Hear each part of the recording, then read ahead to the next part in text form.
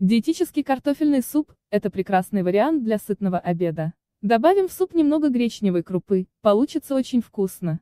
Суп подойдет как деткам, так и взрослым, пробуйте обязательно. Диетический картофельный суп готовим без масла, без зажарки. Добавим немного шампиньонов и моркови, овощи слегка пассеруем предварительно. Такой суп можно подавать со сметаной, с хлебцами и большой горстью рубленной зелени.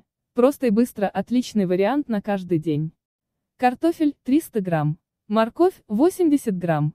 Шампиньоны 150 грамм. Гречка 60 грамм. Вода 2 литра. Соль по вкусу. Перец по вкусу.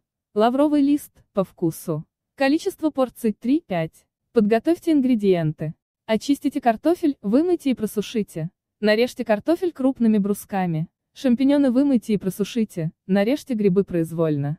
Морковь натрите на средней терке. В кастрюлю переложите картофель.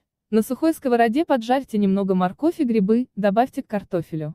Добавьте в кастрюлю промытую гречневую крупу. Влейте в кастрюлю теплую воду, добавьте специи.